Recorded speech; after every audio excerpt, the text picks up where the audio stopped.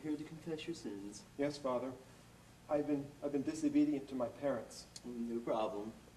and I've been using very foul language, No problem. and, and I've been sassing my teachers and not doing my homework. No problem.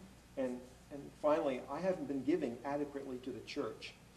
Now we have a problem. Would be a good penance for you, my son. Something where I could be in service to the church? Mm, cleaning at the Monsignor O'Dwyer retreat? Cleaning would be good.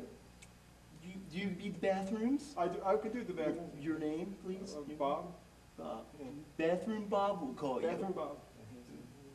Uh, And there is a penance that I can think of right now that you, Yes, sir?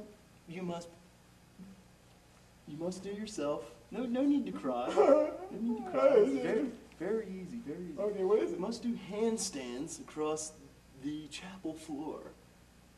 Okay. Okay? Mm, that's- Whatever. that's- I think that's a pretty easy penance, don't you? Yeah, I guess, I don't know. Okay. Right. I think, I think you just skedaddle along. Just- Amen. Bye. Amen. Pass the kumbaya. Okay. Bye, Lord. Mhm.